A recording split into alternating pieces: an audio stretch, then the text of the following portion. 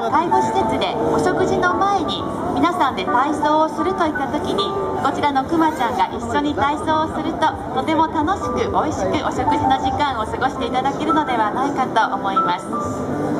さらに保育施設でもお子様の子どもたちの体操の時間にこのくまちゃんが一緒ですととても楽しく体操していただけると思います。ご覧いただいています、えー、くまちゃんの体操のデモンストレーションお口の体操が始まりました。このお口の運動というのも介護施設ではとても重要ですのでご活用いただけるのではないかと思います。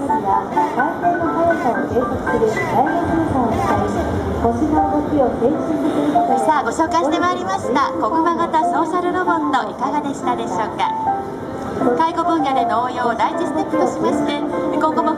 はさまざまな応用可能性を追求していきたいと考えております。ぜひご期待くださいませ